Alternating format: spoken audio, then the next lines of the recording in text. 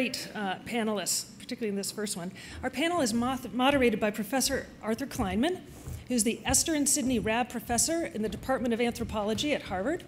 He's also Professor of Medical Anthropology and Psychiatry at Harvard Medical School, and he is the Victor and William Fung Director of the Asia Center at Harvard. Uh, first up, I think, will be uh, Jane Ussher, who's Professor of Women's Health Psychology at the Center for Health Research at the School of Medicine, the University of West Sydney, all the way from Australia. We have Catherine Panter Brick, who's a professor of anthropology, health, and global affairs from the Department of Anthropology at Yale, and Nate Greenslit, who's a lecturer on the history of science in the Department of History of Science here at Harvard. Uh, thanks very much, and I look forward to your questions. Great. Yeah. Well, um, that was a great introductory talk, and uh, I think Jane just explained why we shouldn't call this first panel defining health. I've been at Harvard for 38 years. 38 years ago, we would have called this defining health because that's what we knew about. We knew about cultural differences and definitions. But what we know today, and what gender gives us a special window on, is the way that the social world comes smack into the body, not just through cognitive definitions, not even just through emotional responses, but through physiology itself. So that to understand any health problem today, we must have a biosocial view, a view that sees big forces that um, we heard from the Radcliffe Institute's director, history, culture, political economy, coming right into the physiology of the person, into the meanings of the group, into the responses of the institutions. And that's created new ways of looking at things that don't get characterized well by terms like defining health. Like local biology, Margaret Lock's great term, for the fact that biological processes can be so specific to local, social, political, economic, cultural settings that the biology itself is local. Our own Dick Lewontin, years and years ago, suggested that this takes place at the very level of the gene itself, with environment and genes starting within the cell, the cell's own environment. Social suffering. We know that suffering, though labeled largely in America and Europe as an individual experience, is far from that. It's almost always an interpersonal experience.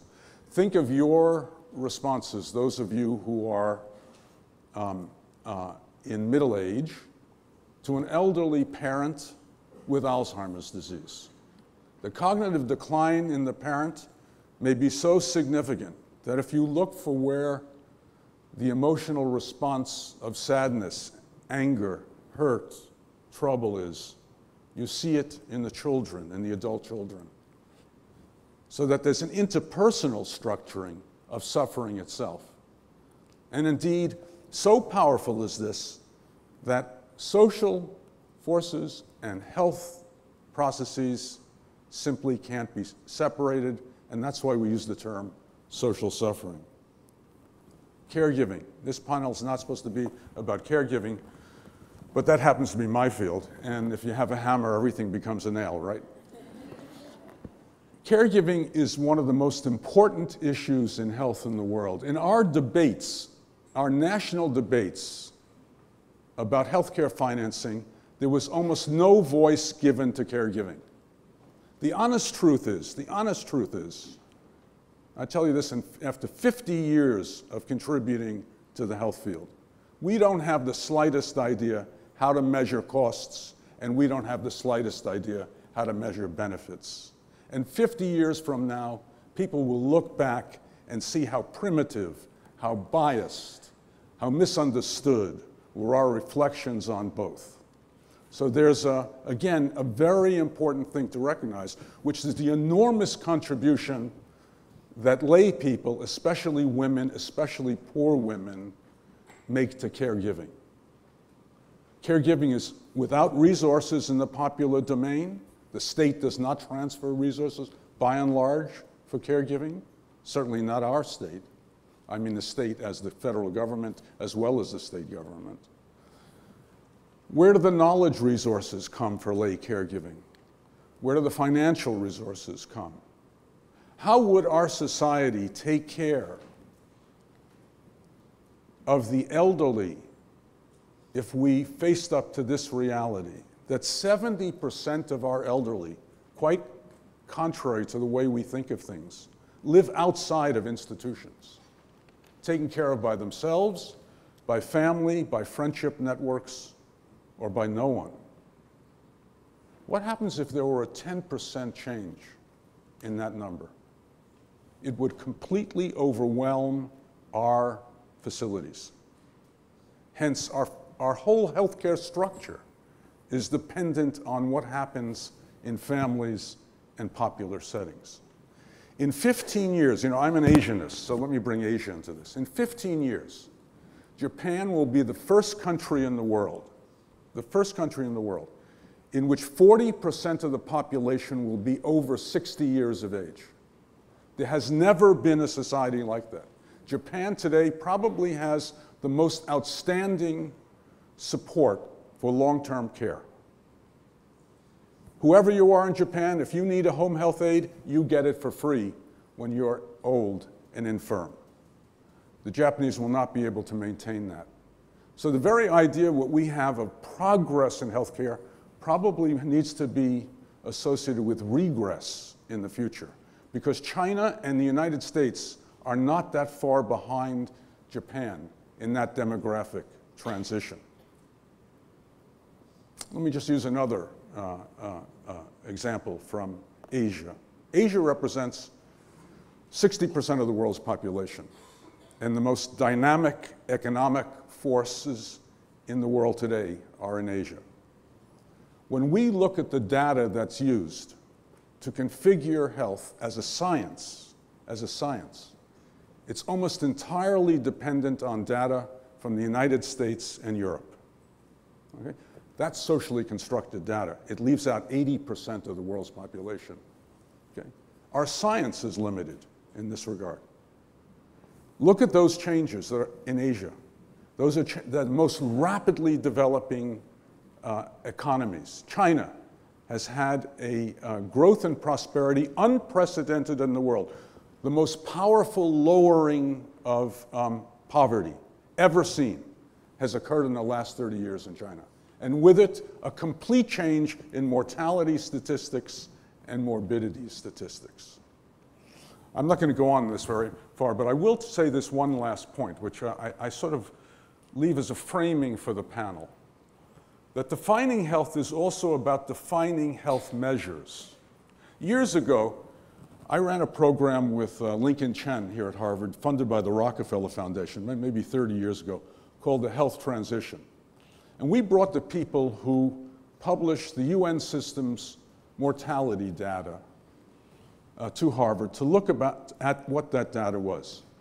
That data, which many of you in the audience who are in public health or medicine probably use, is one of the great examples of the social construction of reality. It's almost entirely socially constructed.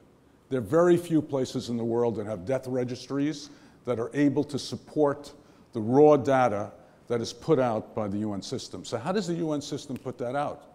It puts that data out with algorithms that remake the data along the ideas we have that societies are doing better year by year, that one country in Africa may do better than another country, but we don't have the the data. In my own field, in the global mental health field, we rely on DALYs, disability adjusted life years, because it makes the case for us. Okay? I spend, I must spend uh, one quarter of my time flying around the world using the DALYs to make the case for global mental health. But you know what? The DALYs are a complete fabrication. Okay? They're based on the most limited information you could imagine. They're extrapolated in a remarkable fashion. And hence, we really don't have a measure of suffering itself. So, the, if we take the term of this uh, first session to heart, defining, defining comes down to the very measures that we use. to recognize that these themselves are caught up in the biosocial. They're biological constructions and social constructions working together. So, with that as, um, as an introduction, let me suggest simply to the panelists that we um, take a broad view of what definition means, that we try to engage um, uh, some of the uh, lively topics that have already been introduced to us, and that we even challenge the idea of the term who decides. If we take seriously the contribution of political economy, history, culture to health, we have to be honest and say that most of the time, nobody decides. Okay, I turn things over to. Let's begin with Professor Jane Ussher, who we're delighted to have uh, come all the way from that magnificent continent in the Southern Hemisphere, Australia. Jane is Professor of Women's Health Psychology at the Center for Health Research at the uh, University of Western Sydney. Jane Ussher. Thank you, Arthur. I'm going to talk this morning about women's madness and pick up on some of the themes that have already been mentioned. Now, some might argue that to talk about madness is to talk about woman, and in fact, that madness is synonymous with femininity.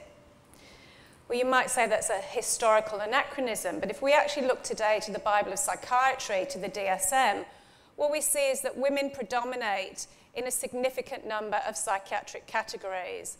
I'm not going to read all of these out, but if we look at mood disorders, we look at anxiety, we look at dissociative disorders, we look at PTSD, we look at adjustment disorders, at eating disorders, women are far more likely to be diagnosed with these disorders than men, which suggests that women potentially are more mad than men, or some would say. If we look at who's using mental health services, far more women than men. And the estimates I have here are conservative. Women are more likely to see psychologists and counsellors, to see psychiatrists. They're more likely to be admitted to psychiatric hospital. They're far more likely to be taking psychotropic medication. And they're far more likely to be given ECT, electroconvulsive therapy.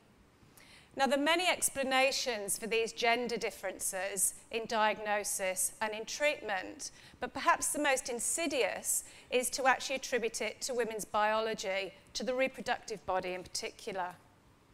So here are just two quotes from experts in this field, arguing that the female prevalence in depression is linked to women's reproductive years, and more specifically in the second quote, linking it to menarche, to puberty, to menstruation, to the premenstrual phase of the cycle, the postnatal phase of the cycle, and to menopause. So, really covering the whole of the reproductive life cycle for women.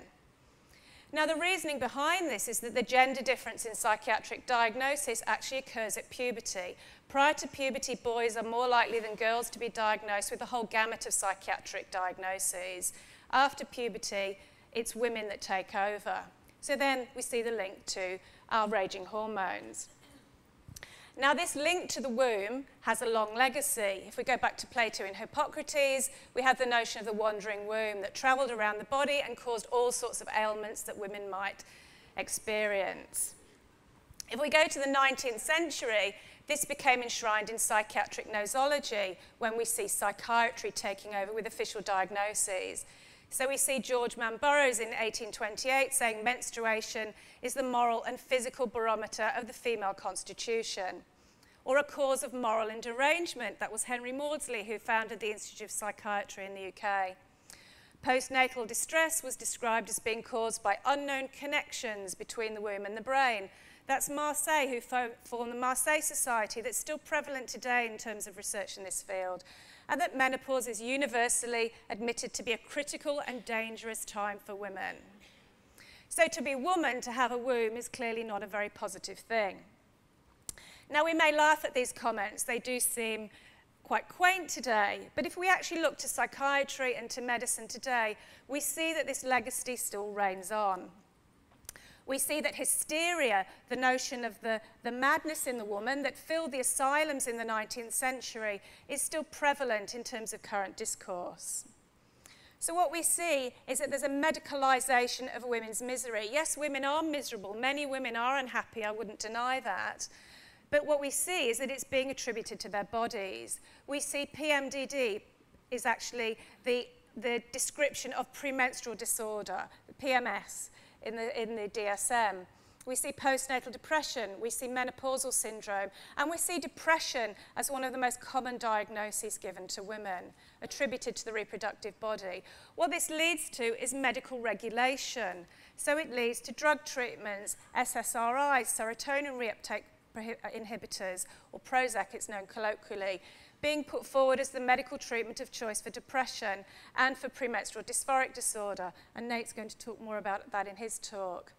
We see some physicians recommending antidepressants for women before they become depressed after having a child.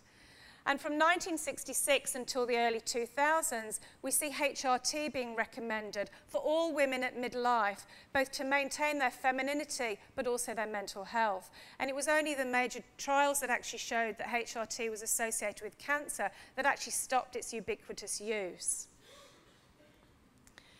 Now, what we also see is what's described as diagnostic bracket creep, that distress that's associated with events in women's lives, such as marriage, such as motherhood, menopause, menstruation, are being positioned as psychiatric illnesses. So women who feel distress across these events, across the life cycle, and that actually covers most of us that are in this room, they're actually posi being positioned as mad. The same is not happening with men. We don't see men's reactions to life events, to life stress, being pathologized, being positioned as something to do with the body. Now, this isn't just about medicine and psychiatry, this is also about popular culture. We see that women's anger and irritation is attributed to the body. So you're angry with your husband, well, it must be premenstrual tension. You become menopausal, and what do you become? Itchy, bitchy, sweaty, bloaty, sleepy, forgetful, and psycho. Not something particularly to look forward to. Ironically, if you actually look at the mental health statistics, women's depression and anxiety reduces at menopause and beyond. And in fact, women as they get older are generally happier, as many women I'm sure in this room will testify. If we actually look at the postnatal period, we don't see lots of images of the depressed and anxious postnatal woman. What we see is the opposite, is the ideal. So here we've got Jessica Lopez with two brand new twins looking absolutely gorgeous and serene. I don't many how, know how many mothers in this room could have looked or felt like that at that period in their lives. But what this is is, a, is a, a, modern reincarnation of the Madonna and Child, the idea that motherhood is blissful and beautiful and calm and kind and something that we look forward to as women. What that does is it positions women who feel other than that as deviant, as dysfunctional, and blaming their bodies. Because what we see is that women take up these discourses through a process that's described as subjectification. But what that means is that women are positioned, or we position ourselves as mad or bad or dangerous if we don't live up to the ideal, the impossible ideals of femininity that are held up to us. And what I would describe as take up the position of the monstrous feminine. There must be something wrong with us. And what we see is women blaming their bodies for that distress and hating their bodies for that distress because it's seen as something that's within them. So the understandable negative emotions we have because of things that are happening in our lives, because of things that might be to do with our gender, not our biology, are actually positioned within us as women. And many women then come to hate themselves as women because of it. I just want to give you some examples from some research I've been doing over many years with premenstrual distress. So women who come forward and describe themselves and are diagnosed as having moderate to severe premenstrual distress, so PMS or PMDD. So here are some examples of the way women split themselves as the premenstrual self or the non-premenstrual self. So when they're premenstrual, women describe themselves as mad, as bad, introverted, out of control, irresponsible, angry, vulnerable, irritable, fat and ugly not a very positive position to be in at all. When they're not premenstrual for the rest of the month, they're much more the ideal feminine. So they're good and sane and energetic. They're coping, they're calm, they're active, they're even tempered, and they're not frustrated. When women take up this premenstrual self and describe their premenstrual self, they're really describing themselves as mad. And here are some examples from women that we've interviewed. So a woman describing herself as a total nutcase because she distressed an anger. Another woman saying she's completely lost the plot.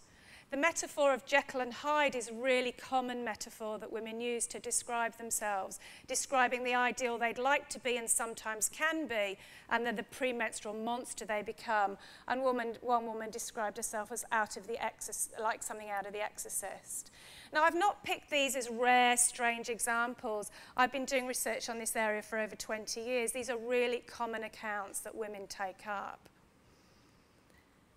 what we see when we talk to women is not that this is some premenstrual madness coming from within. When we say to them, Well, tell me about your PMS, they actually talk about things happening in their lives, often their relationships with their partner or with their children. And in fact, when we get them to explore it a bit more, they say, Well, maybe it's my true feelings coming out at that time. So one woman's saying, Perhaps she's finding it harder to hide the negative feelings that she keeps inside for the rest of the month, and her defenses are down. Another woman saying she suppresses her anger during the normal time.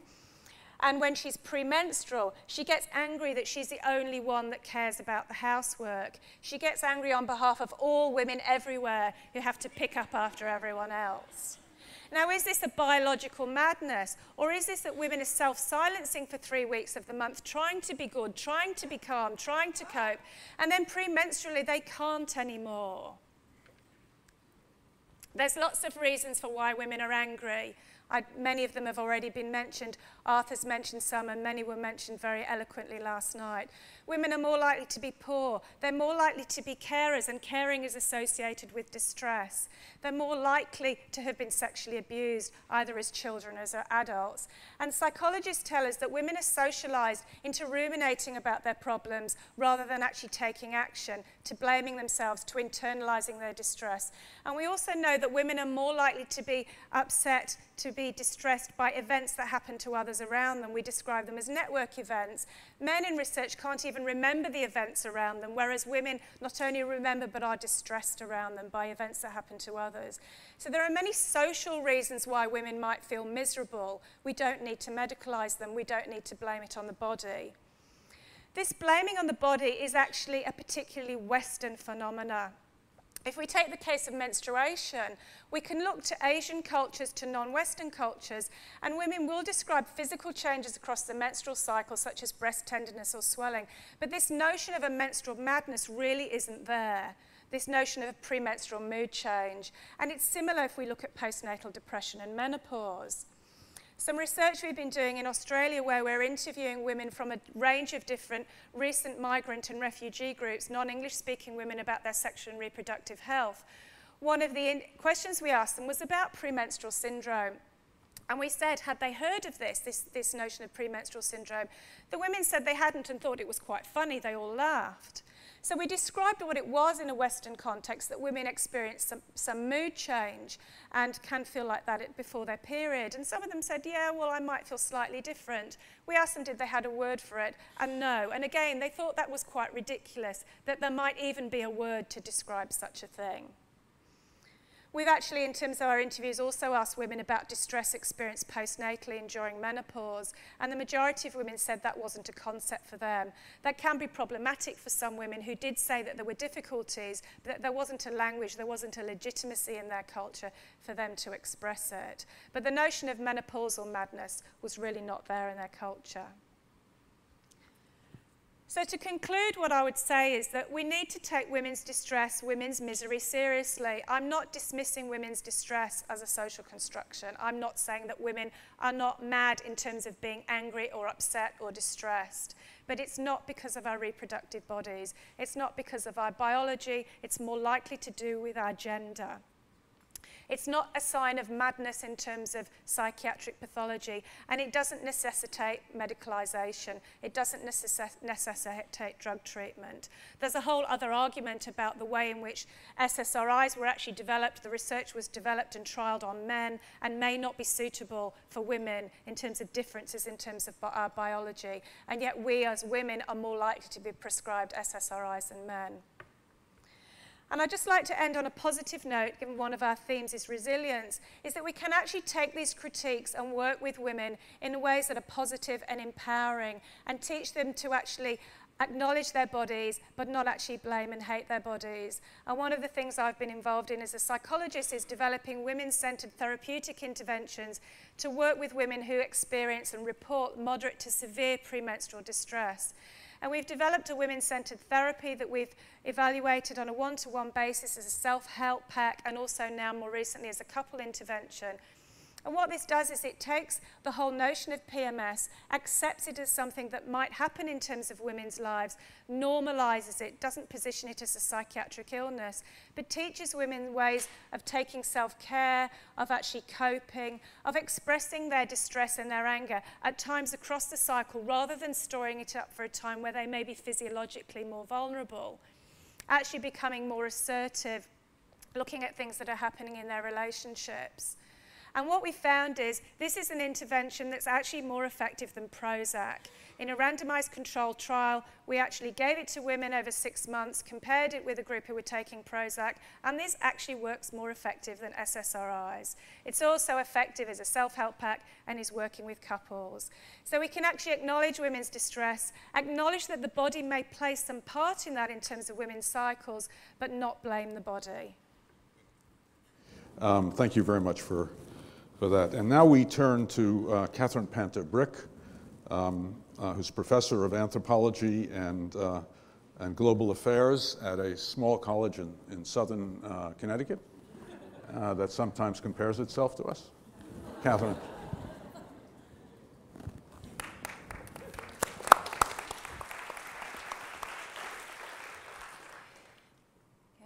Good morning. Um, I come from Yale, but originally I came from France and English, so my accent won't be from southern Connecticut, I'm afraid.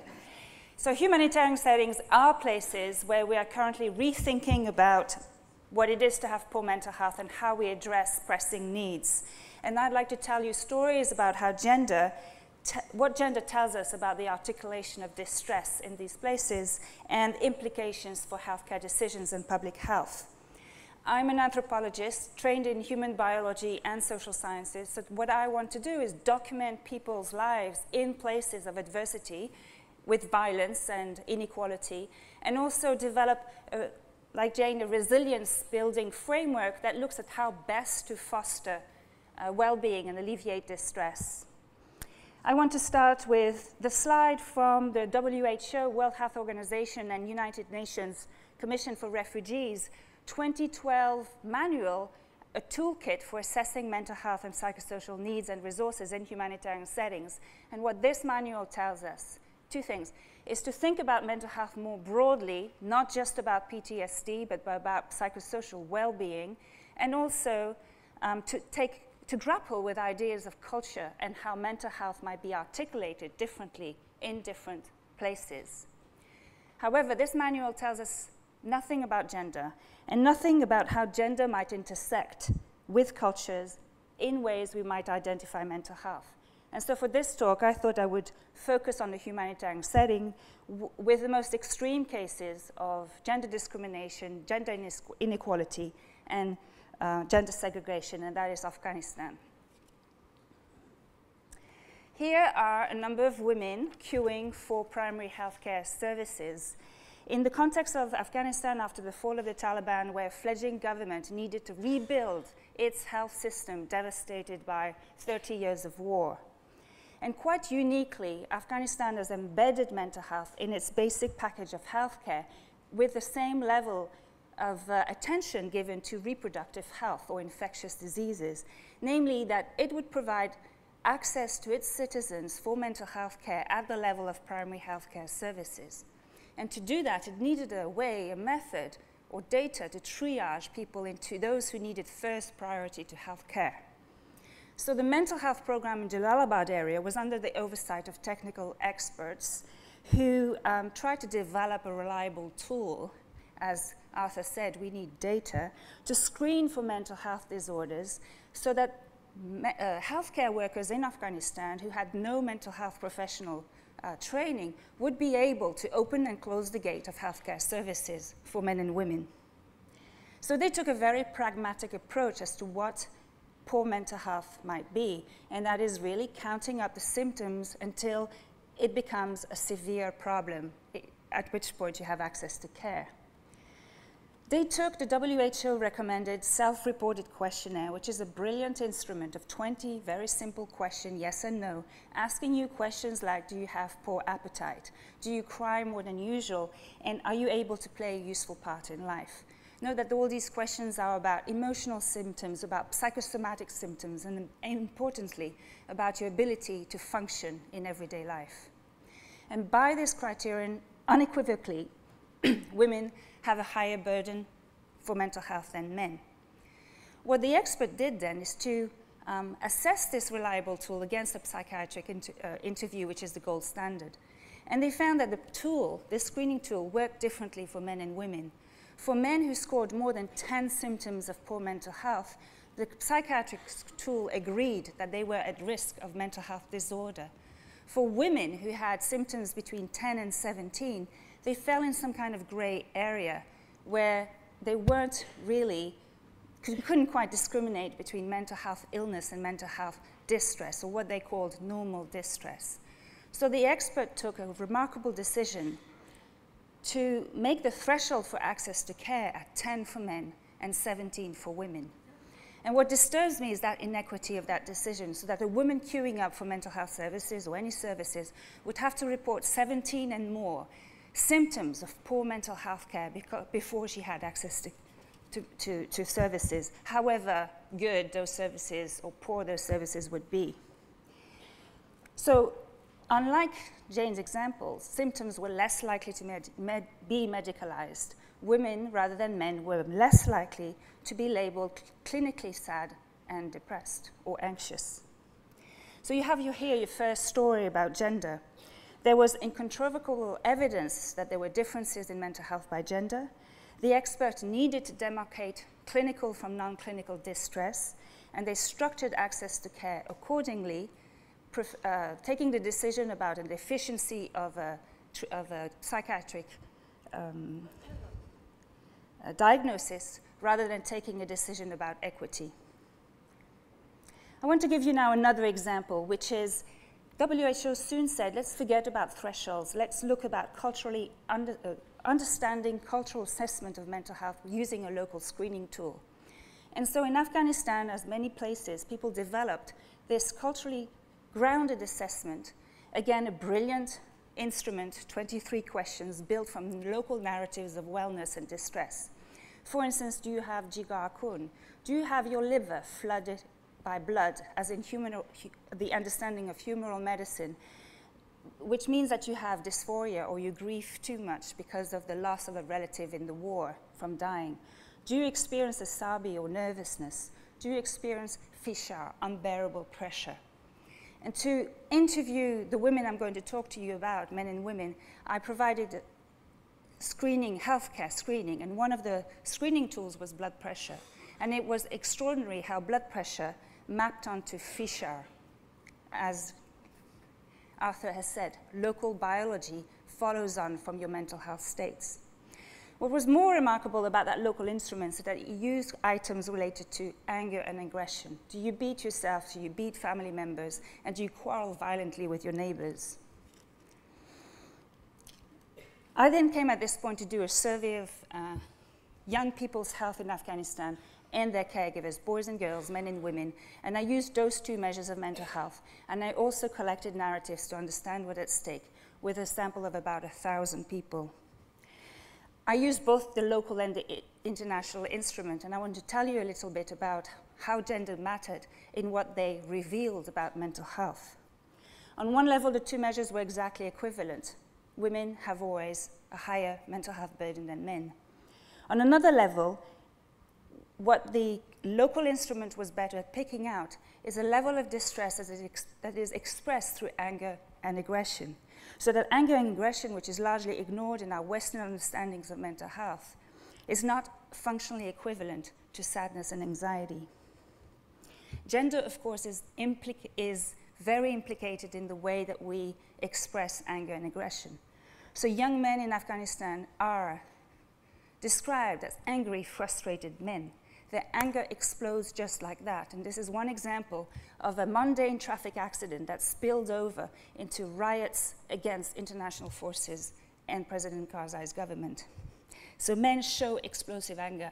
They beat their women and children, they quarrel with their bakers, they knife their neighbors when they have taklif asabi or they've lost their mind.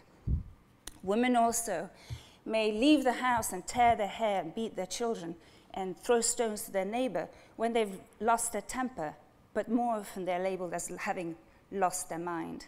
There's a fine line between the two losing your temper out of frustration, or using your mind because you've transgressed social norms of staying inside the house. So, to me, this raises interesting questions about what we are measuring when you use these measures.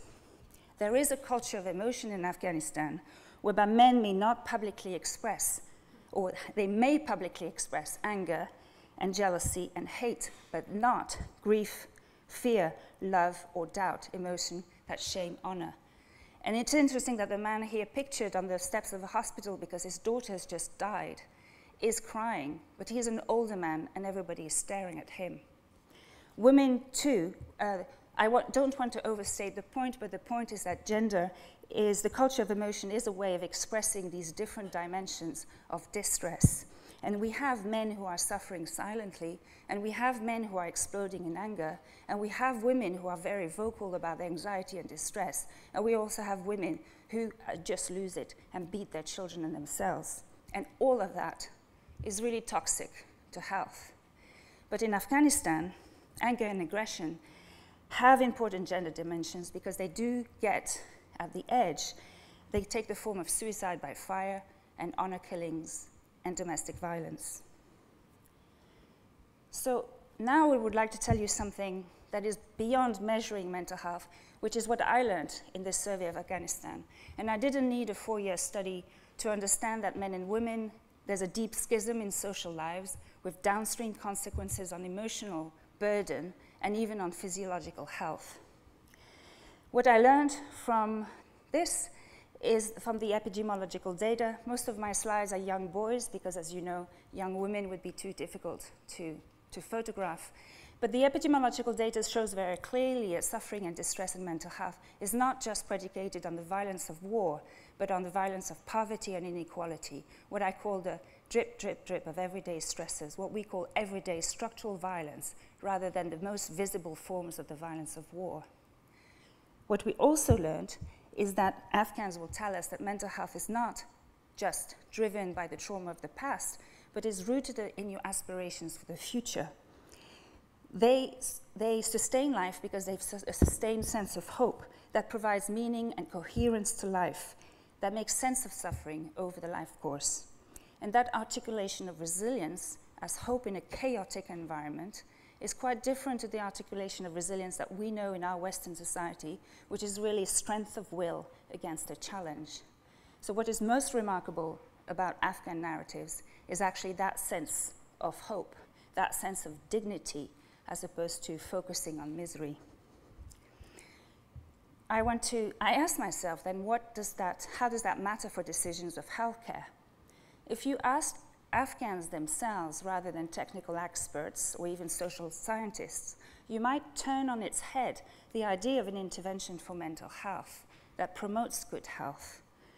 Afghans would tell you that a mental health intervention has to be an economic intervention for good jobs to sustain the dignity of men. They would tell you that it needs to be housing intervention for good places at home to sustain the dignity of women. And they would tell you that they need education to sustain hope and aspirations for the future for their children. They will also tell you that they need parenting skills to provide alternatives to harsh punishment. And all of this, all these kinds of intervention, would have the potential of regendering household dynamics, to improve family cohesiveness, to reduce violence in their midst, and to improve well being and dignity. In other words, Afghans would not really want a pro woman or pro gender, pro men intervention. They think of broad interventions that sustain family resilience, and that is a pro resilience, pro equity intervention that strengthens the family and addresses the stresses for both men and women. So, to conclude, another slide on young kids, I want to make the point about equity and fairness in health My first example asked us to be alert to the unintended consequences of trying to demarcate mental health illness from mental health distress. Because defining illness defines access to care, and that's very easily perpetuating social inequality and gender inequality. My second example with the local way of understanding mental health is to be alert to cultures of emotions that script different ways of expressing emotion and behavior. And understanding that may move you beyond an outlook, narrow outlook on sadness or anxiety or PTSD, to understand that explosive anger and aggression tells you a lot about what is at stake in people's lives. And third, that mental health is not just predicated in the past, but rooted in the aspirations for the future, which I did not realize before I started in Afghanistan. So that Afghans will tell you that an intervention is about putting together the wherewithal to sustain their hope and their aspirations for the future.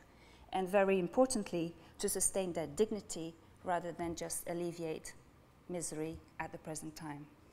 Thank you. Thank you. Yeah, I had forgotten the French background that um, our speaker has. So merci beaucoup pour continuer les bonnes traditions de votre pays. Okay, um, so now um, uh, we turn to um, uh, Nate uh, Greenslit, who's from our own Department of the History of, um, of Science. And I can't resist saying this since Nate is an expert on, on pharmaceuticals and their relationship to gender and society, that you'll recall that it took 30 years for the pill to be approved in Japan.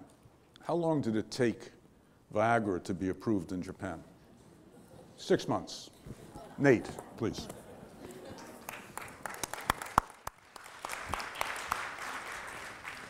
Thank you. Um, okay, good. Can everybody hear me? Good. Uh, now, historically, there have been important ways in which Americans have used illness to fight for civil rights and social agency. There's a very real and fascinating way in which people can fight to be ill. So a key example there would be Vietnam veterans returning and petitioning to get post-traumatic stress disorder acknowledged as an official psychiatric diagnosis so that they could receive proper medical care and so that their suffering could be destigmatized as a legitimate medical problem and not as, say, some sort of weakness or moral failing. And there are a number of ways in which people can fight not to be ill. A good example of this would be gay people protesting to get homosexuality removed as an official psychiatric diagnosis for what, um, in the, in the self satisfied bliss of historical hindsight, seem like obvious reasons. Um, but psychiatric medicine in the US has this tricky history in general that it's blurred deviation from some normative health ideal with what might perceived uh, might, what might be perceived as social deviance.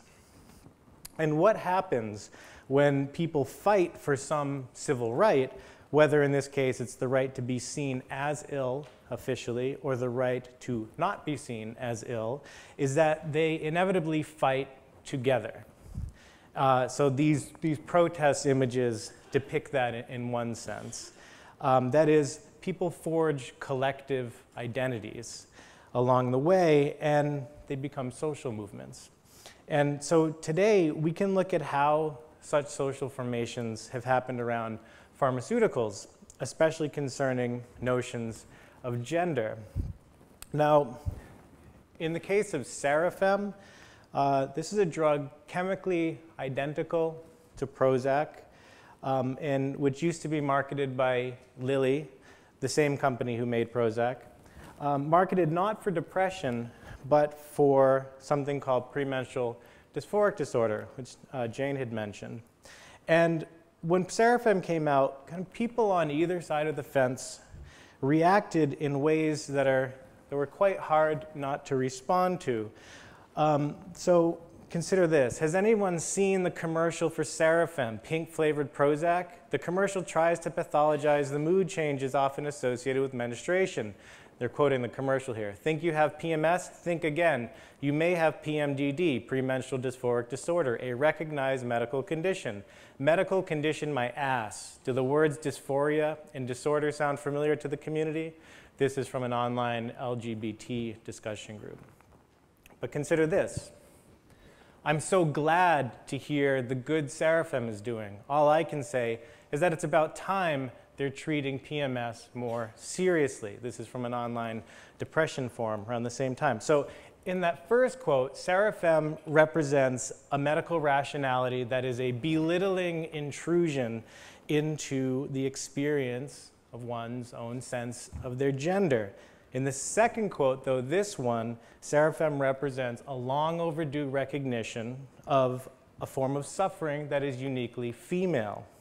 And so between these sides sits the, um, the identity of the drug.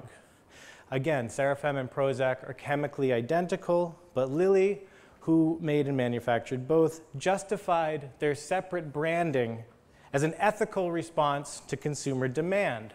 Um, one of their marketing directors said, quote, we asked women and physicians. They told us that they wanted a treatment with its own identity, Women do not look at their symptoms as a depression, and PMDD is not depression, but a separate clinical entity.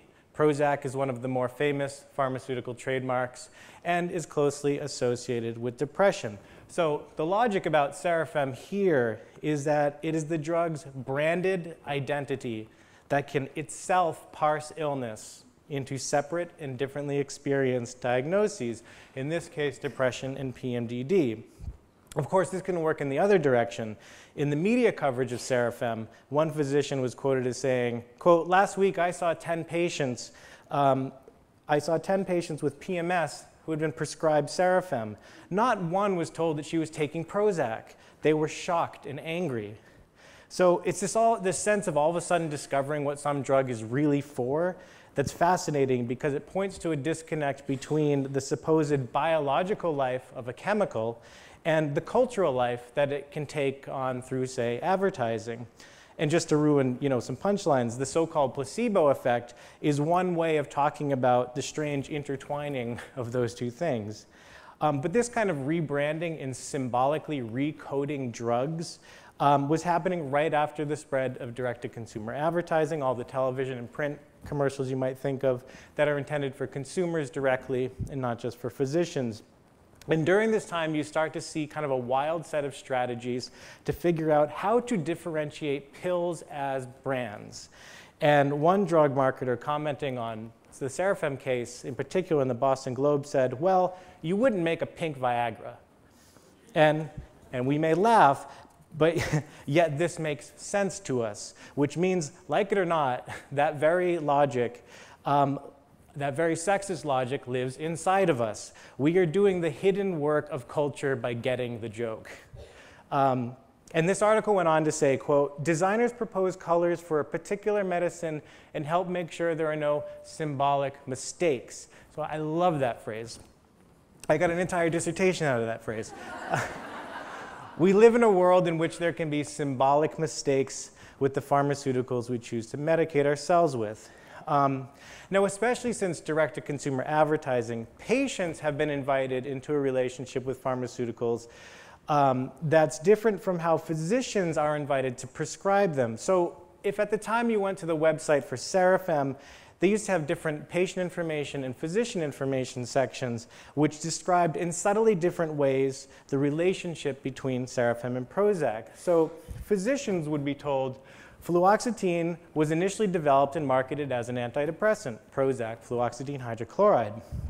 Now, patients were told, what is the active ingredient in Sarafem? Sarafem contains fluoxetine hydrochloride, the same active ingredient found in Prozac. Now, stay with me. Um, these two statements are both technically true, but socially they produce very different meanings. Um, the differences in the descriptions are not those of technical expertise, the one for the doctor is not more complicated than the one for the patient. But for physicians, This statement, this statement allows that Sarafem and Prozac are the same drug with different packages. The second statement for patients conveys that they are different drugs with the same ingredient. So this matters in a world where patients can supposedly be shocked and angry that their medication is chemically identical to the one they thought they should be getting, or in which patients welcome branding as a, an important symbolic acknowledgement of their specific illness. So, because illness is meaningful in so many ways, um, the cultural anthropologist Emily Martin has written about how in the United States, medical and scientific ideas about menstruation in particular have changed alongside of ideas about women in the workforce. Um, specifically, after women began entering the workforce at the start of World War II, all those periodic changes associated um, in energy and mood associated with menstrual cycles became understood in terms of losses of productivity.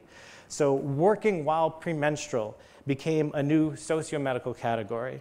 And the premenstrual worker became a new category of person with an accompanying medical science that was always partly out to answer what happens to women's capacity to work during their periods. And so Emily Martin kind of used some ethnographic work with women to argue that premenstrual forms of depression and um, an irritability and anger that we so now comfortably refer to in the medical language of symptoms could also be actually be understood as ways to resist forms of, say, industrial capitalism that demand a kind of homogenous output from its workers, irrespective of what their differently sexed bodies might be communicating differently. Um, and she was writing a good decade before Sarafem hit the scene, but she kind of wondered, anticipated, well, what would happen if drugs were introduced to kind of pharmacologically smooth out such potential for bodily and psychological resistance. Now, it's really interesting to read uh, Emily Martin alongside of Peter Kramer's Listening to Prozac, because here, uh, Kramer claimed that antidepressants can make women feel more motivated and active. And he said, quote, there's a sense in which antidepressants are feminist drugs. Um, liberating and empowering. Now, in their, in their marketing, this seems to be exactly what Lilly wanted to say about Sarafem, um, but they, they, of course, publicly, they had to tout more conservative, proper medical messages about the drug. But this language of women taking control of their symptoms was all over their advertising. This is an example of that. Um, so here, ability, you know, is supposedly derived from irritability, which is to say that it's not that premenstrual symptoms themselves are the raw material of a feminist way in the world, as Emily Martin would have it, but rather treating them is the feminist act.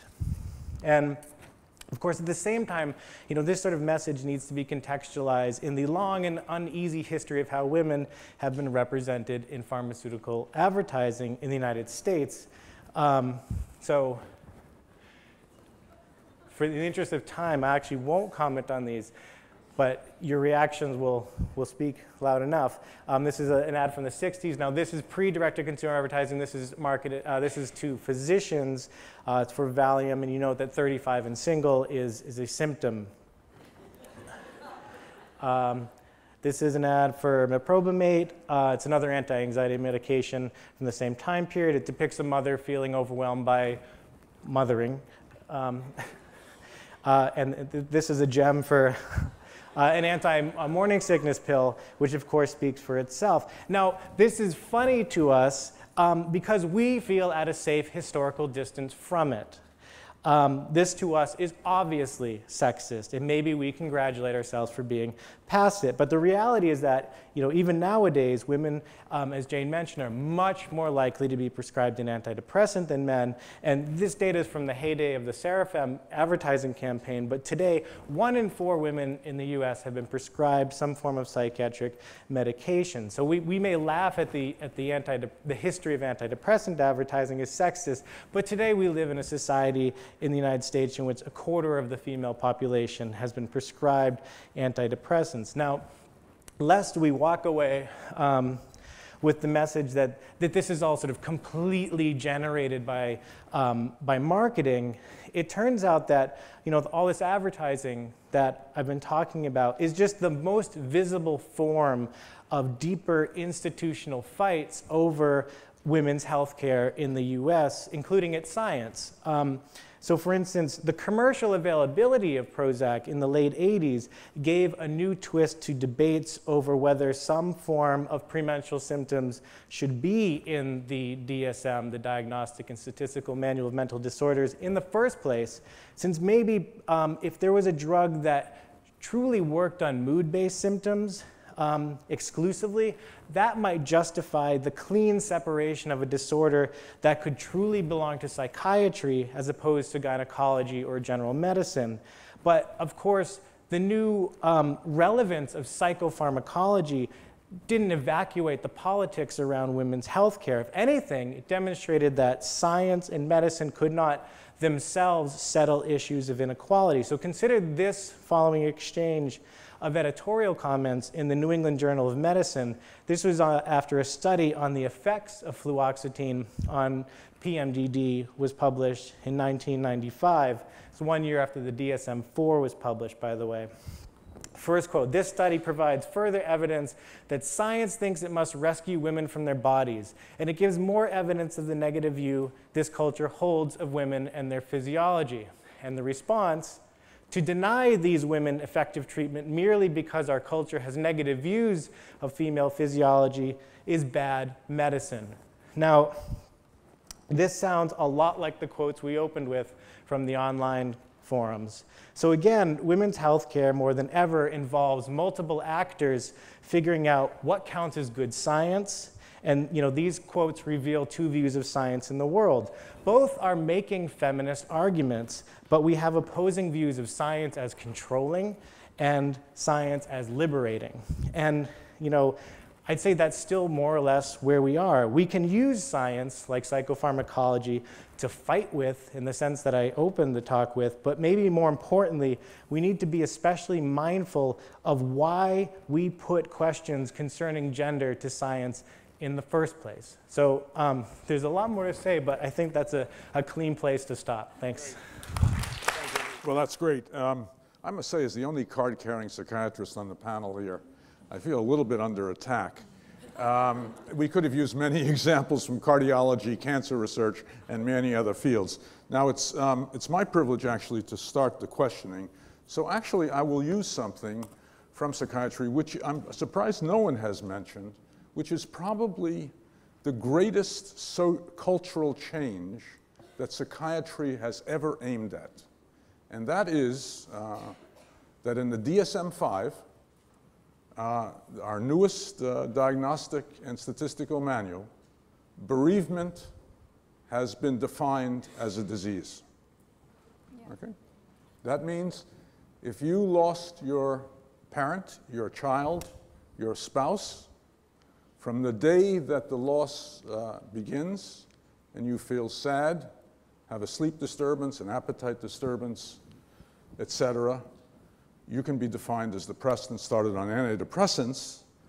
And to make this even more horrific, there are groups of researchers who believe that um, you should be treated in anticipation of the disease so that even before uh, bereavement starts, you could be treated. Um, so there's an example of a major um, cultural uh, uh, shift promoted by a uh, powerful um, profession. Let me turn now for the, um, the questions, and um, I want to pick up on this, this tension between overtreatment and undertreatment, and I think people really have got to understand this. So 70 to 90% of people who are poor or in the non-Western world with a major psychiatric disorder like serious depression, severe depression, schizophrenia, bipolar disease, all with reasonable treatments. 79, 90% of the poor, 79% of the world's population do not receive any professional treatment. Zero. And what we know about traditional healing is that traditional healing does nothing for serious mental illnesses that has been demonstrated um, in field research. Hence, um, uh, that's the other side of the paradox. Increasingly, with urbanization in the world, we see overtreatment of the middle class in urban settings and absence of treatment of the poor in um, impoverished uh, settings. And I'd like to ask the uh, committee about this, um, this paradox, this paradox not just limited to, um, uh, uh, to psychiatric conditions, but to medical conditions in general, if they would respond to it. So here we've looked at cultural effects on defining what illness is and the overdiagnosis or the misdiagnosis of uh, problems based on gender. But what about that huge percentage of people in the world who um, receive no treatment? Please, who would like to take that on? Jane? Um, I'll just start. I think one of the dangers in critiquing uh, and psychiatry, and I didn't realise Arthur was a psychiatrist sitting next to me, um, is that it can be seen as, in a sense, psychiatry bashing and that it's dismissing all medical diagnosis or all psychiatric diagnosis. And I'd certainly say that that's not what the feminist endeavour, which has critiqued psychiatry's tr treatment of women, is about. And that actually what we need to, to look at is, in a sense, the, perhaps a continuum or the more extreme end where people do need and benefit from help and that might be pharmacological help or it might be therapeutic help. So I don't see it as, in a sense, at odds or any, any sort of problem to, to actually acknowledge that there are many people who are not receiving support and help that they may benefit from, and many people outside of Western contexts who are not receiving any help, as, as Arthur's pointing out. And the fact that within a Western context, many people, and particularly women, are being overdiagnosed and their everyday misery is being medicalized and pathologized and that they're actually being treated by pharmacology. And I think one of the points that's important to make is there have been critiques, particularly of the DSM and of the, the diagnostic categories within the DSM. And Lisa Cosgrove and colleagues have published data to show that 95% of those who are on the DSM panels, who therefore create the diagnoses that we then come to be positioned within, are actually working for or funded by big pharma, by the pharmaceutical companies. So we've got to ask the questions, who's pushing this diagnosis in the West? And perhaps there isn't the market in these other countries for the drugs, so maybe that's why the, the market isn't there. So perhaps if big pharma decides that they've got a market outside of the West, then maybe there'll be more help, but is it the sort of help we want to be offering? Thank you, Jane. Um, Catherine? speak to the, the poor. Yeah. Um, one of the most imaginative way of or reimagining models of care is happening in India at the moment, where mental care again is embedded in um, healthcare facilities and not specialized settings, and piggybacked on um, care services that deliver uh, care for non-communicable diseases. So if you think about it, there's this massive increase in obesity, um, cancer, etc. And they're trying to fold mental health care in those services. And that's just a very new way of imagining how to deliver mental health care to large populations in urban and urban, in urban and rural settings by having shared model of care that cross over diseases. So we should look to that as one possible model for solving this problem of inequitous access to care. Great. Nate, you want to respond? Yeah, I guess I could just speak quickly to um, the fact that where I see what you're describing as an, as an overdiagnosis problem or, or kind of over medicalizing happens with, um, especially in the Western world, with illnesses that are, are sort of arbitrarily defined and kind of and quantitatively measured almost. So, um, you know, cholesterol or you know hypercholesterolemia is a great example, where this, there's, you know, there's no blood test to show that you have definitively high cholesterol, but you can assign, you know, the number and change and slide that up or down, and all of a sudden you change what counts as high cholesterol, and you, you can grow or shrink your market in that way. And the same things happen happens, I think, with a lot of the psychiatric illnesses too, where these aren't things that there are blood tests for. Um, so in some ways, they kind of get arbitrarily decided, and um, you know, and, and there is a, a, sort of capitalist logic too, where pharmaceutical companies seem to be looking for patient populations who can be the sickest and live the longest. So a lot of these medications that we talk about, like with all these antidepressants, um, statins, these are medications that you take and you don't come off of. That logic is not built into them. But these are patient populations that live a very long time. And so that seems to be the natural um, market reach for the pharmaceutical industry in the Western world. Great. Hi, I'm Peggy Orenstein. I'm from the next panel, and I'm just dying to know what happened to Sarafem. Oh, so this is great. Um, Sarafem was a completely failed product. you know, uh, it was an attempt on, on, on Eli Lilly to, I mean, just from a business perspective, to recoup some of the losses they had when Prozac lost its patent, which completely decimated, you know, that share, uh, their share in the, in the antidepressant market. Um, but because generic fluoxetine was available, physicians would more often than not prescribe generic fluoxetine rather than brand name Sarafem, which is much more expensive. And in the United States, a lot of states mandate that pharmacies switch um, prescription medications to the generic if it's available, unless the physician writes disp dispense is written. So it was a losing battle, it was a failed product, but it seemed to, um, in part through its cultural life through advertising, change public discourse in the United States about PMS and about um, female illness. And now in the, in the DSM-5, you, you sort of slowly start, started seeing PMDD going from um, in, in, a special uh, an appendix in the DSM for disorders needing further research that was created especially for it in the 90s to now being in the main text of the DSM in the DSM-5.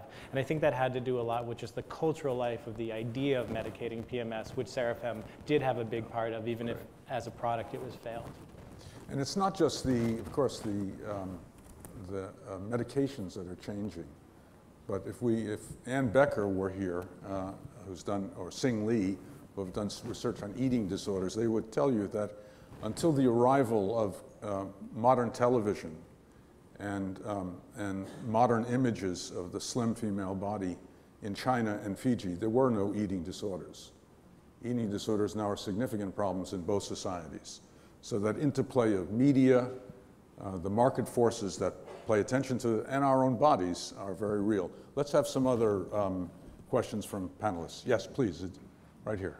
Just identify yourself and question short. Yeah. Uh, Laura Hinsey Russell. I'm, I came to the right place today. And um, I guess I wanted to ask you to address, in addition to our social constructs moving out, I think in addition, more toxins are moving out into other cultures. Yes. And I've learned a ton about the impact of gene types that impact things like methylation and our susceptibility to toxins and what this does to the brain and how it manifests as both mental and physical illness. Can anyone address that? Anyone if we want screen people, I think we'll get really far. Yeah. Catherine? Um, you mean the toxic effect of stress? Is no, she means toxins themselves. Yeah. Anyone, others, I'll, I'll handle this. Um, all you need to do is, I was in Beijing three weeks ago. I could not see as far as the back of this um, auditorium. You don't have to be a toxicologist to recognize that there's particulate matter in the air. I was in Hunan, where I started my research 40 years ago. And uh, my, uh, this was the Yale and China Medical School, uh, Xiangya. And the president who took me to dinner asked a very peculiar question. He asked the, uh, the owner of the restaurant that we went to if the rice came from Hunan, from that province. And the owner said yes. And the, and the, and the president said, we won't have any rice tonight for dinner. That's because of the enormous polluting uh, uh, effects of, of industry in China in water and soil, as well as in air. And um, we have we have lots of evidence of this for disorders like um, cancers related to nasopharyngeal cancers associated with toxins in water. There's a long story in the Chinese setting and actually a geographic location in, um, in South China. We have um, a whole story of uh, more contemporary problems, uh, but maybe the best story in, this, in the world about this is Bhopal. Remember the Union Carbide accident in Bhopal. One of my PhD students, Bridget Hanna, has done just a fantastic uh, project on this. And with the best of efforts at every level, there's been a substantial failure in, uh, in handling this problem because of the interests, the competing interests of the state, of the companies involved, and of the like. Um, another very, very interesting uh, example is, um, is uh, Chernobyl. So Chernobyl in the Ukraine, as you remember, was a, was a disaster on the, uh, really on the scale of Three Mile Island. Um, uh, uh, uh pathologists identified maybe a thousand uh, cases of radiation-induced uh, uh, acute illnesses, and they anticipated a few more thousand of those that would be long-term. But one-third of the Ukrainian state applied for disability, and a very substantial portion of them received it as the state at its origin defined itself against the former Soviet Union as a victim and defined a biological citizenship, as Adriana Petryna called it, for those who had been affected to broadly cover the state as a whole, defining that state against the uh, former Soviet Union.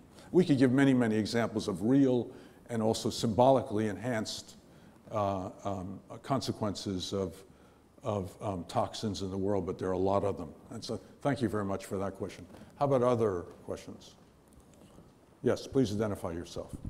Noel Bairey Merz, uh, Cardiology, Los Angeles. I'm a future panelist. Um, a statement and then a question, because this is the right panel to address it. So we've done a lot of work trying to do a better job with what we call a clinometric to diagnose heart disease uh, in women and men. The tools that we currently have work very poorly in women because we presume they were developed in men. And working with our psychometricians and our psychologists, it's become very clear that when you ask a woman a 20 or 40 or 80 page symptom questionnaire, you will get a lot of positive boxes. And if you ask a man, you will get very few boxes checked. The psychologists tell me that this is a very common and well known fact, and women will, are verbal and they will tell you how they're feeling.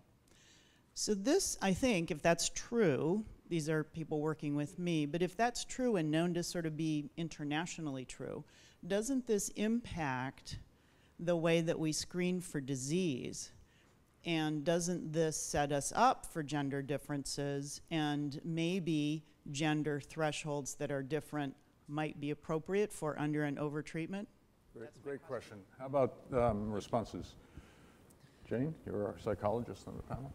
One of the arguments for why there more women are diagnosed with psychological problems than men is that women are more likely to articulate them so that you might have two people, a man and a woman, who are both equally distressed, but the woman is more likely to, to, to say it. And so some people would argue that there's actually an underdiagnosis of distress in men. Another explanation for the phenomena you're describing is that women may be more likely to um, adhere to the demands of the situation, in a sense being good girls, so that if they're given a survey by the physician to complete, they're going to complete it well. In a, whereas a man might be more able to think, well, I can't be bothered with all these stupid questions. Um, and I think one of the things I'd say from the point of view of doing research in health across both men and women, and I work primarily at the moment actually around cancer, is it's really hard to recruit men for research. It's really hard to recruit men for studies, even when it's on something which is actually really quite serious to them. And one of my current areas is looking at sexuality and fertility around cancer.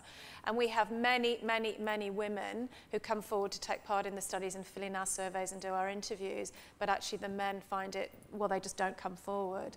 So whether that's part of the phenomena in your um, filling out your surveys. I don't know. Yeah. There's, there's also, you know, a, an interesting cultural and international aspect of this. So, for example, in a group of studies that uh, Sen once uh, used to uh, cite, um, if you compare New Yorkers, when, when New Yorkers were compared with people in New Delhi, India, the complaint rates were much higher amongst the New Yorkers than the New Delhiites, even though the actual measures of the burden of disease, of course, these were much higher in New Delhi than in, than in New York. Of course, being a New Yorker, I can understand that myself. But, the, but, the, but uh, seriously, this is, a, this is a, I think, a, a generalizable issue you're raising. Anyone else want to respond to that? No? We'll take another question. Yes. Here we have a question right here. Yeah. Uh, uh, Barron Lerner, I'm be speaking this afternoon uh, from NYU. Um, several people talked about what is now, I guess, a very well described phenomenon building on the humanities and social sciences in which pharmaceutical companies uh, use gender to manipulate women to thinking they have psychiatric conditions for normal processes. Um, some of the research we heard about this morning builds on that. I'm wondering to the degree that people think that th having th this having been articulated now in many ways by many smart scholars, has the medical profession and the public learned about this critique uh, in any way that's been substantive? I mean, I'm thinking about my own patients, mentioning it or not. Ha have, has that happened? And if, if not, why are we having trouble with something that seems quite clear and obvious reaching the consumers and the people who provide the pills? Great. How about some responses to that question? There's um, a really good issue in social science and medicine on gender and health that looks at the way um, moving forward. Um, and it's a very interesting issue, just simply say gender is not a dichotomous binary variable and we understand gender uh, being many complex. It takes many uh, exemplars and I think that is a good locus of making academic research think more clearly, having clarity in their concepts about how they use sex and gender in health. I'll stop at that. I remember um, when I was interviewing uh, physicians and psychiatrists um, ar around, around this work, uh, you know, they, they talked about how oftentimes they'd get patients who would come in who would, you know, uh, sometimes just request specific drugs. And their response was, well, you know, it, so long as the drug is, doesn't present any kind of clear and present dangers, that it's relatively safe, I don't want to alienate the patient. I'll just let them try it out. Um, but of course, that becomes a sort of self-reinforcing um, kind of entity in terms of how we perceive illness itself in this country because it's much easier to track prescription rates than it is diagnoses. But now the more people who are getting prescribed medication, because in some cases it's just easier to give them that medication um, to maintain the, the doctor-patient rapport. Now it's looking like you have a greater prevalence of a particular illness, and you know, so maybe premenstrual dysphoric disorder or depression. Can I just say, I think that one of the reasons why this is perpetuated is because it's not just through um, drug company advertisements or through the medical profession that this notion is perpetuated. If we look at popular culture, if we look at women's magazines in particular, that, that same notion of, of medicalisation is really prevalent. And the other thing is, what do you do if you don't take a medical diagnosis? If you're in a very difficult life situation, if you're feeling miserable, if you're overwhelmed, if you're working full time, you've got two children, you've not got a good relationship, it's actually much easier to have a fantasy of the miracle pill that can make it better than it is to think, I've actually got to address my marriage, I've actually got to get out of my job, I've actually got to change my life. So I think that the alternatives are much harder, and I think that's why people stick with that medical explanation. I wish there were a miracle pill. Yeah, Catherine. Just um, that is the that is the lesson I take from contexts other than the West is that the way forward is community and family, um, addressing community and families rather than just bodily and individual level symptoms. So we tend to always think about the individual, but never about the nexus of the, the, the, health problems in a larger context. And I think other places are much better at telling us that that is the most important thing to do and that's the next step. There's a lot of evidence from around the world uh, about the epidemic of attention uh, deficit hyperactivity disorder that pediatricians by and large resist uh, medicating patients, but that the demand from families is great uh, for forcing um, their hand. But from our own society, I do a lot of research on uh, dementia. And uh, my wife herself died from dementia three years ago. Um, you can go anywhere in the US now to a nursing home and you'll find the widespread inappropriate use of antipsychotic drugs to handle um, restlessness, uh, behavioral disturbances uh, amongst the demented, even in spite of the fact that the FDA has gone out of its way to try to prevent this from happening. And it's been widely publicized uh, across the US. And here you can say, rather than the families feeling they have no other resource, it's the doctors and nurses feeling they have no other resource. So these are complex issues. Now let's turn to the, you've been a wonderful audience, you've been attentive and responsive.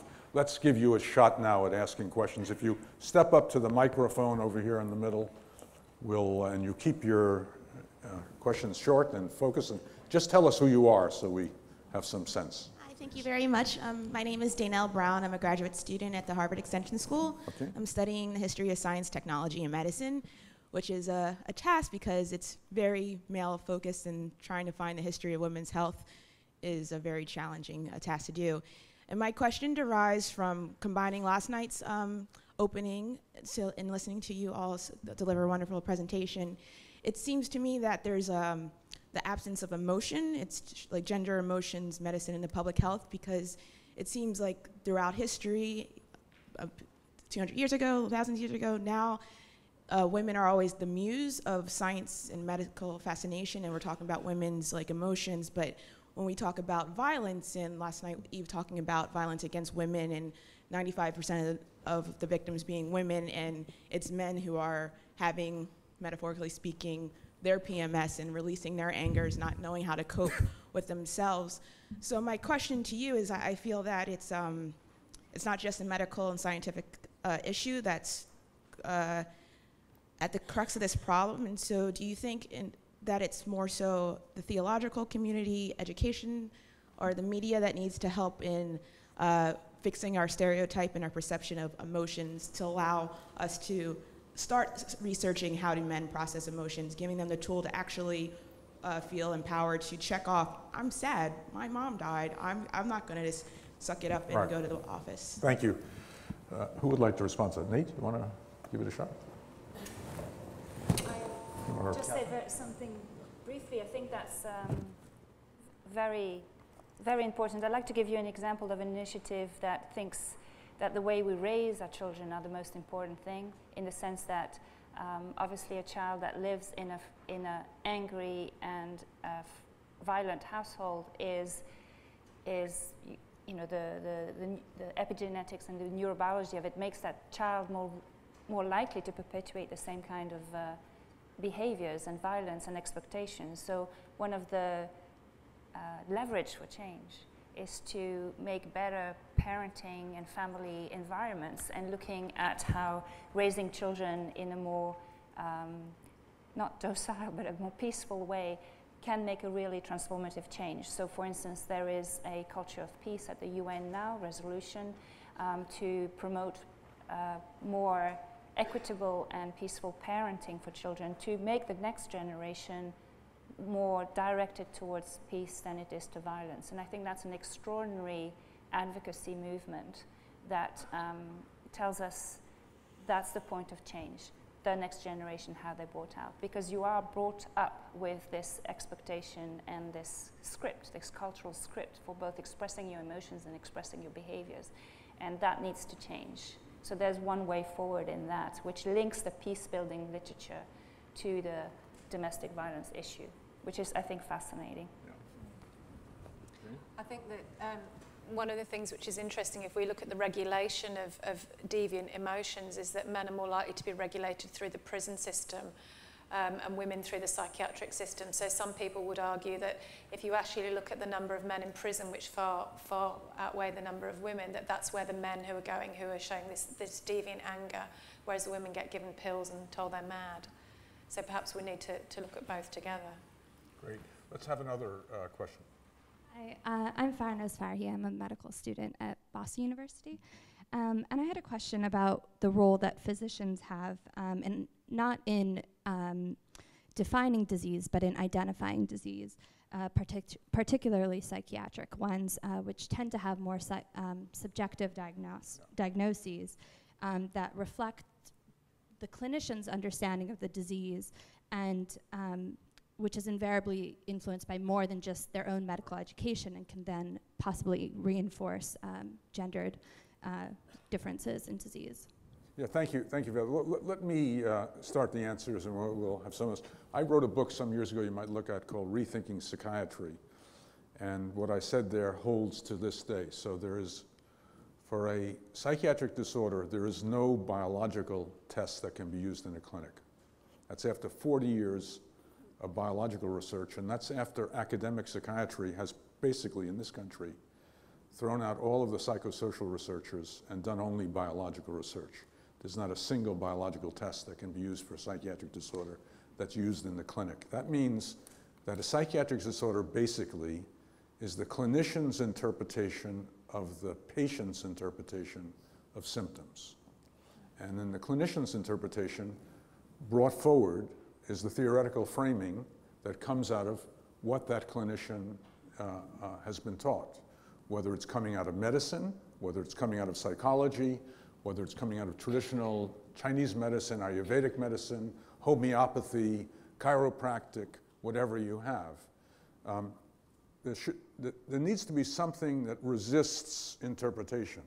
In most areas of medicine, biological measures limit the explanatory spread of ideas. In psychiatry, um, uh, there isn't that biological constraint on things. And so I think we have, we've, we've had the problem of a sort of a metaphorical spread of ideas, unlimited by um, objective tests that demonstrate uh, what is an appropriate extension, and, um, and, and, and therefore a much more substantial opportunity for huge cultural forces, economic forces of the market, et cetera, to come in and take us a long time to understand how they're working. But anyway, it's a terrific question. If you can follow it through in your own work with this, that'd be great. How about some responses from the panel? Um, I can add that, you know, in, in the US, in the contemporary kind of advertising media landscape, that for all the psychiatric, psychiatric drugs you see advertised, you'll never hear the word psychiatry mentioned, although um, consumers will be encouraged to go talk to their doctor. And I think the pharmaceutical industry would really prefer that they go see their general physician, where um, there's not that level of expert scrutiny when it comes to psychiatric symptomatology.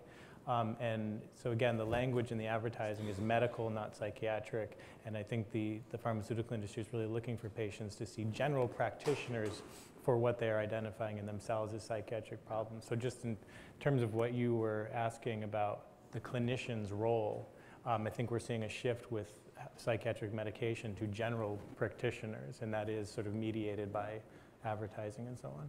This is a great point. And if you think about the fact that uh, WHO expects that uh, all um, depression and anxiety will be treated in primary care settings around the world, it raises the issue of will we, see, we, we see the increase in that problem uh, as we move in that direction. Let's have another uh, question. Yes. Hi, um, my name's Audrey. I'm from the Connors Center at Brigham and Women's. Um, so I was really interested in what Dr. Greenslit said about the use of Sarafem to kind of smooth out behavior, so kind of making productivity consistent across a woman's menstrual cycle. Um, sorry. Um, and it kind of seems like what it is is kind of a result of this larger thought process of correcting the abnormality, like correcting this abnormality of women's bodies to make them more like men's bodies. Um, and I'm interested to see if you kind of agree, what you think about that. Um, and if you think that that is a problem that is just kind of, or a thought that's kind of just seen in psychiatry, or if it's seen across other medical um, disciplines. Nate, you want to start the answer? So. Sure. Um, I mean, I think, like I had mentioned in my talk, that's certainly one um, line of debate around these medications that, well, what if premenstrual symptoms can be seen as, um, as powers and not liabilities?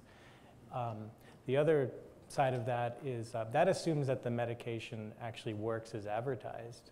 These are wily drugs that I'm sure many of you know. There have been these recent meta analyses of a ton of clinical trial data through the Freedom of Information Act um, that show that SSRIs um, for most people, I mean, it doesn't, they don't work much better than a placebo. So we, we, can, we have these intense debates over um, medicating gender, medicating race, um, there's an interesting flip side to that is that the medications themselves, it's really hard to demonstrate any clear, clear-cut efficacy in the broad swath of people that they've been aimed at.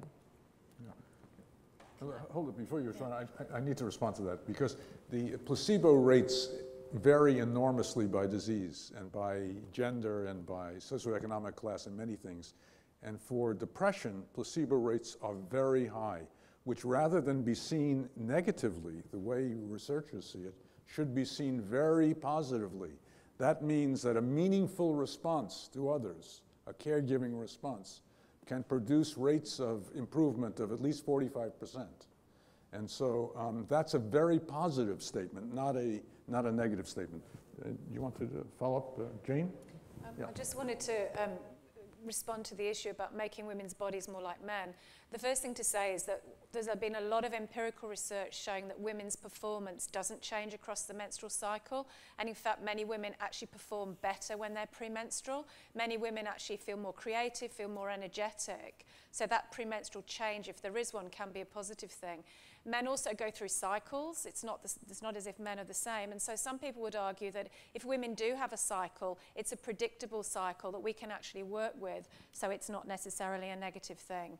So regardless of whether the drugs work or not, perhaps having a menstrual cycle and changes across that cycle is something we should embrace as women and actually be able to predict when we might feel more vulnerable or more energetic or more sexual. Some women feel more sexual when they're premenstrual, so it isn't necessarily a bad thing.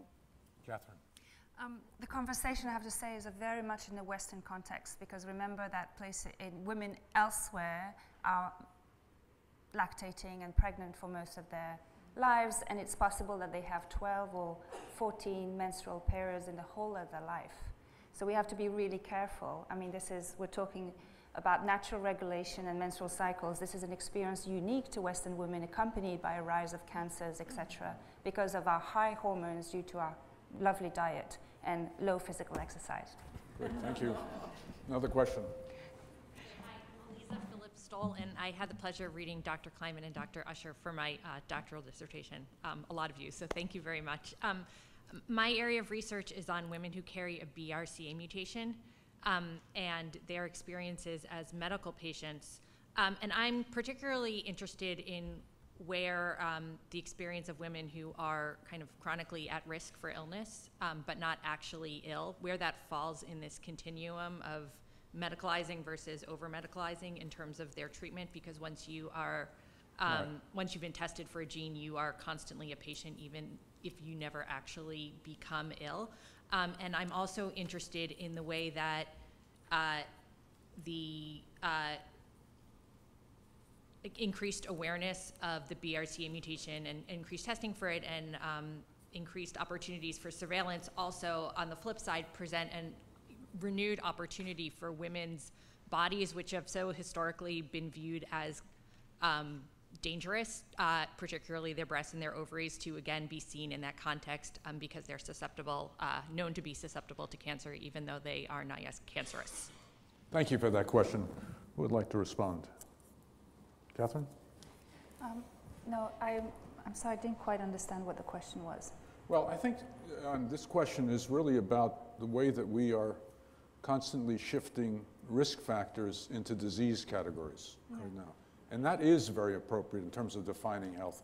And this is not just happening for women, it's happening um, across the, the entire population as um, we look for earlier and earlier evidence of what is a disease and cannot distinguish a risk factor from a disease. And then that raises um, very, very fundamental questions. And I think the, the, the questioner gave part of the answer to the, to the questions that this is um, something that we really have to look at and systematically understand. Um, for example, look at the evidence we have now about whether people want to know whether their risk factor is a disease. When it comes to genetically determined diseases, like some of those that produce uh, dementias, um, is that a, a, disorder that one wants to know about? Um, uh, uh, genetic counselors are all over the place in, um, in their understanding of what's to be done. I, I, might just mention, years and years ago, there was, I, I was at the University of Washington. I had a great colleague who was a great human geneticist um, at the University of Washington. He asked me to sit in on about 20 interviews by genetic counselors with um, women who had just uh, delivered a child with a very, very serious um, uh, genetically based uh, problem, usually leading to the death of the infant. And um, I sat in and listened to the women interacting with the genetic counselors. And then an hour after uh, the interview, asked uh, the women about if they could describe back to me what they had heard. So um, at the, immediately after the interviews, um, virtually all of them said that they pretty much understood what was said. Within one hour, 50% of them said they could not understand what had been presented to them. I knew that had to be right because I had a medical degree and sat in those settings and could not understand what the genetic counselor was explaining to the women.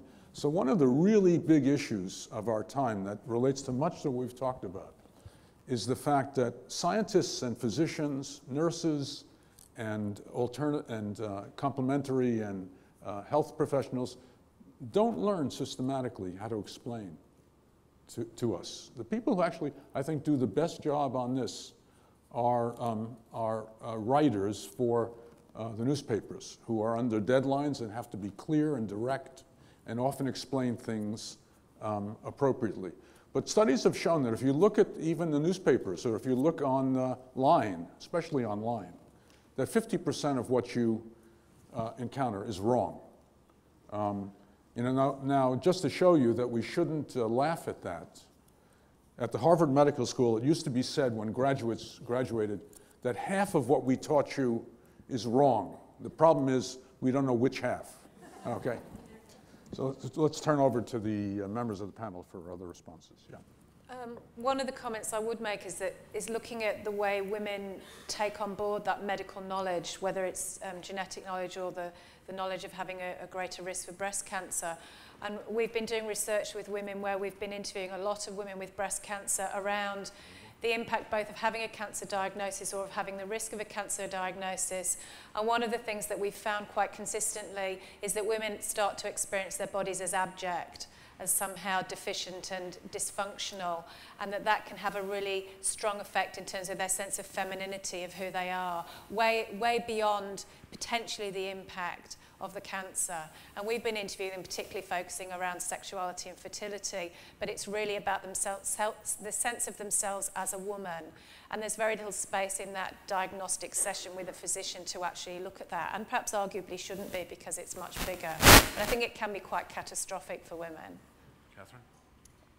The um, reconceptualization of global health has got to do with looking at um, no, not just the risk of disease, risk of particular diseases and uh, excising them during your life course, but looking at people as people um, in their communities and in their families. So that I think is a very, as um, Jane said, looking at women now as women, but looking also at people as people and not just their bodies or their arms and their fingers and that particular risk. So understanding uh, somebody's needs over the whole of the life course as they interact with others. And I think that's a very beautiful, more humane type of medicine that we can carry over into the next few decades.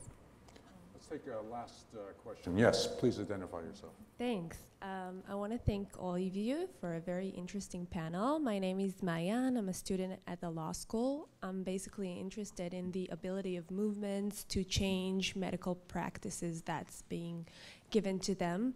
And I was actually interested in what you, Professor Kleinman, spoke about the inclusion of griefness in the DSM, the latest. Yeah. So from my perspective, I was wondering what brought, what was the dynamic that brought to this inclusion? Was it a collective of identities grieving people who asked to be included, or was it the imperialist nature of maybe the psychiatric institution? Or I would like to hear about. The um, uh, since I've been a public critic of this particular aspect, let, let me bend over backwards to try to be balanced. Um, I think actually there's very little evidence that it was people in grief who stepped forward and asked to be diagnosed as diseased. Um, uh, the, the, re the, researchers themselves came up with this idea. Now, I know some of these researchers, and they are well intentioned. And of course, we know that the pathway to hell is paved with good intentions. The, um, uh, uh, the symptoms of grief and the symptoms of depression are exactly the same. So that the, um, the diagnostic means of separating them was always length of time of grieving. Now, in point of fact, the cross-cultural anthropological database suggests that societies vary enormously on what they consider to be normal grieving. There are societies in which one grieves for a lifetime, and there are other societies in which, in which a year or two years is uh, regarded as a, as a period of a, an acceptable period after which uh, an individual should return to a normal role. And they're wonderful rituals. I mean, those of you who know some of the rituals of Plains Indians or West Coast Indians know that the Coast Salish have this wonderful ritual where uh, when, a, um, when a man dies, uh, his spouse puts on sackcloth for a year. And then at the end of the year, with all her age mates, they dress in the, in the garment of, of the rainbow, the colors of the rainbow, but they cover themselves in sackcloth. They go through a ritual of change, and at the end of the ritual, everyone throws the sackcloth out, over, off, and they're uh, seen wearing these beautiful garments, which now present the person who has been bereaved as eligible for a number of things, including remarriage at that stage. Many, many societies are like that. There's no, the only society that has said that um, there is no normal grieving period is the American Psychiatric Association. and, um, and, um, and I think, therefore, the, the, the implication of your question should be why are we accepting this? Uh, why would we want to accept this? Um, why have we not uh, responded critically? A lot of psychiatrists have responded critically, by the way, but without any impact. Because if you think about it, as I recall, about two and a half million Americans die every year. About 10 million or so are bereaved. If we simply look at it as a marketing factor from the standpoint of the, of the, of the pharmaceutical companies that make antidepressants, of course they would be interested in increasing the numbers of people who would uh, enter the market for this. But from our perspective, we should be uh, very concerned about, about what does it mean? Do we really know what it means to say that you shouldn't be, have any grief at all? That the loss of, a, of, a, um, of someone who meant something deeply to you does not require sadness, the carrying of memories, deep feelings of loss, etc. What does it mean morally to redefine us in this way? That's why I said when I introduced this topic, this was the greatest effort at cultural change that, the, that psychiatry has ever undergone. And I think we don't have the slightest idea yet what this signifies. You know, this, every generation has always been concerned about the loss of the human. But this is one thing we should really look at as a potential uh, source of the loss of the human. Does anyone else want to? Well, then let me thank you all for being such a wonderful audience. Yeah.